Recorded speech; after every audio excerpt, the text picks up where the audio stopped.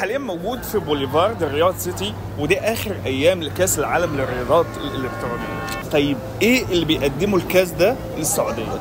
اسمع معايا. كأس عمل على تعزيز السياحة للمملكة وتنويع الاقتصاد وتنمية القطاعات الواعدة وفق رؤية السعودية 2030 تجاوز عدد زوار كأس العالم للألعاب الإلكترونية في العاصمة السعودية الرياض من 3 يوليو لحد 24 أغسطس أكثر من 2 مليون زائر. وتم بيع أكثر من 90 ألف تذكرة للبطولات. وزار الفعاليات الخاصة أكثر من 800 ألف زائر كاس العالم للرياضات الإلكترونية اللي يعتبر الحدث الأهم في قطاع الرياضات الإلكترونية اللي كانت فكرته من سمو الأمير محمد بن سلمان عراب رؤية المملكة. وده بعد ما وصل حجم سوق الألعاب الإلكترونية في 2023 3.75 مليار ريال وبيتوقع وصوله إلى 10 مليارات ريال بحلول 2026 فضلا على إن السعودية أصبحت الآن موطن ل 23.5 مليون شخص من عشاق ألعاب الفيديو اللي بيمثلوا تقريبا 67% من إجمالي عدد السكان بالمملكة السعودية.